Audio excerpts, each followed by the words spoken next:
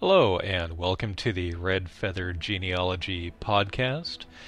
Going to be going back to the oldest and by far most popular video on the channel. Uh, it's one that, in my opinion, has not really aged very well, and I'm not entirely proud of it, but a quarter of a million views later, hey, whatever, I'll take it.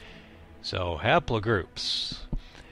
To address the many who have said that haplogroups are unimportant, well, often enough that is the case, but they definitely should not be dismissed altogether because sometimes they are of major value, not only in others' trees, but in branches of your tree.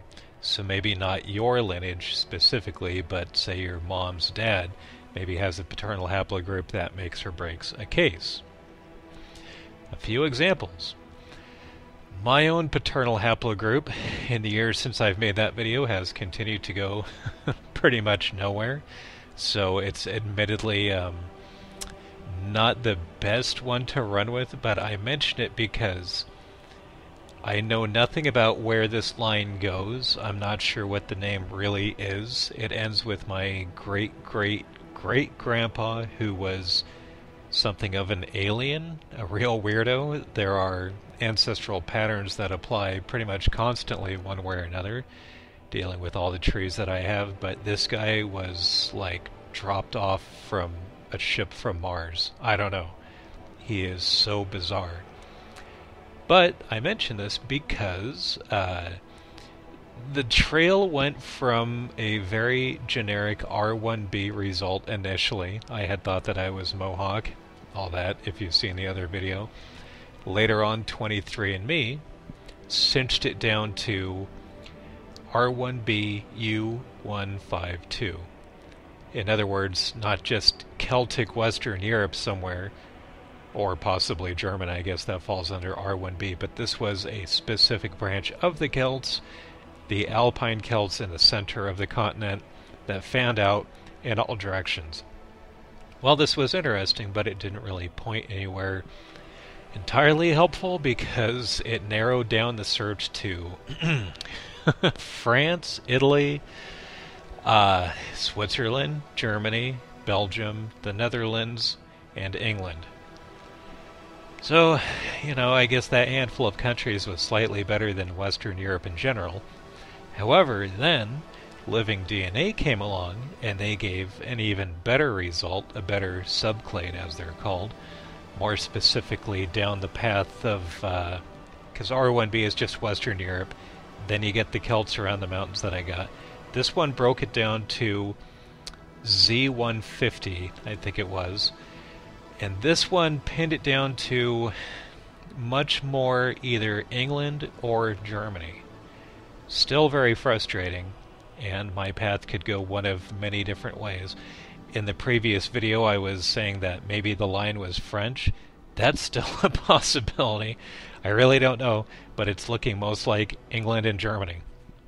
The point of it is, even if you don't get a helpful result, the science continues to improve and evolve, and it gets closer and closer and closer to pinpointing exactly what you're looking for. Fortunately, I have better examples to share. Another branch of my tree, this would be my grandma on my mom's side, her dad. She never knew this guy. Uh, eventually, you know, word got out that he drank himself into a hotel room, and that was about it. And uh, eventually, I came along and figured out his parents beyond just names, and the very fascinating story there. These people were Catholic ish, which stands out in my tree because I have a lot of Protestant denominations, especially Adventists. So Catholics were a real standout. But looking around, couldn't really find records on them, you know, getting baptized. And they showed up in Oregon from New York, and back there it was totally murky. They were up in the Catskills. And my grandma's dad was named Ed, but he went by the nickname Mickey. And as far as she was concerned, and this thrilled her to no end because she saw herself as very Irish, even though she turned out to not be very Irish at all. Uh, he looked, in her opinion, like somebody Irish. You know, he just had the hat and the coat and kind of the attitude, and and he went by Mickey, so you know, if it walks like a duck and quacks like a duck, right? But I could never quite put my finger on it.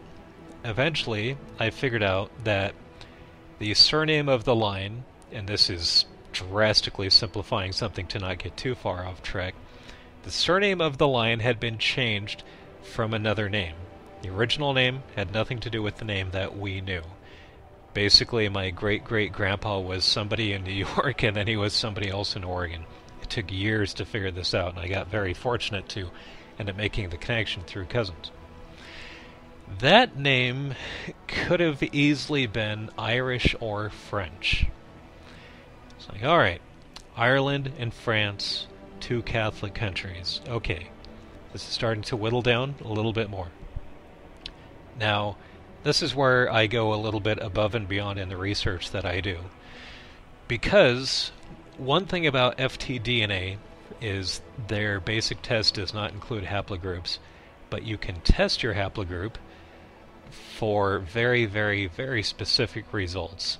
It costs a lot of money, and I haven't done it myself, kind of unfortunately, but the good news is you can look up projects by name. So if you have the name Smith, for example, you can look up the FTDNA Smith project and it'll have a great many people with the name Smith what haplogroups they have going back. And you can see if you are a Smith, where you fit into that, or maybe you don't. It's by means like this that they figure out that uh, non paternal events, in other words, adoptions, infidelities, and whatnot, might happen And uh, maybe this Smith line got derailed and you're not really a Smith, that kind of thing. So I looked up the name, the true name of my grandma's paternal line, and uh, I did end up finding it. It went back to the same ancestry that she had, and I didn't have any reason to believe that there was any hanky panky going on. And sure enough, it ended up being haplogroup G. The specifics of that aren't really important here, except to say that G runs very lightly into western France and not really at all into Ireland. So, bada boom, eventually figured out through this roundabout means over years and emails and improving technology that my grandma's paternal line was in fact French originally at some point they showed up over here in um, southern upstate New York, as funny as that kind of sounds. And I don't know if they took being Catholic necessarily all that seriously. I don't know if it's a really Catholic strong bed kind of area. And so the last echoes of that showed up in Oregon, just enough to reach me to get me on this trail to trace it back 300 years into western France. So that was a nice little convergence of research events. The next example is way more straightforward. Uh, in dealing with the channel cheerleader, uh, her dad had been adopted, and this is how we met. She wanted to figure out where her dad came from. And essentially, everything hinged on a couple pieces of paper, one of which said that the father was Serbian. And that's very specific. Uh, they got some very, very uh, nice notes on this guy who apparently wasn't in the picture very long. It was one of those Navy rendezvous during the war, you know what I mean? So, yeah, we had him test, and uh, he ended up having not just a haplogroup that might be from the region, like mine, a really kind of vague, nebulous one. His was such a slam dunk of just this wildly specific, rare paternal haplogroup that only really happens among Serbs. It's uh, some crazy subclade of haplogroup N or P or something. See, this is how much I prepare for these videos. I don't even know. But it was so specific that it even had a decimal point in it, which I didn't know happened with haplogroups. So just like that, yeah, you're a Serb, and there's no two ways about it. You are as Serb as Serb gets. Uh, I should also mention with these examples that one should not overemphasize the importance of haplogroups. In other words, if you share the same one with a match, that doesn't necessarily mean anything. For example, I've got my R1b paternal line, which gets more specific eventually over time, but my maternal group is H. H is literally half the women in Europe. It could come from anywhere. As it happens, I know the exact village that it came from in Scotland, but it could be from absolutely anywhere. So if you get on 23andMe and you've got H, and you got a relative that has H, it doesn't particularly mean anything unless unless you get a really close match. I watched this happen a few years ago. Uh, I was living with somebody who was aware of a half sister who had been born 10 years before her. Didn't have a name, but did have a birthday and just knew that they had the same mom. Uh, at some point, she got into 23andMe. It might have had something to do with living with a genealogy fanatic. So she took the test and she got back her results. And at the top of her list of matches was an extremely strong match. And they both had maternal haplogroup H3.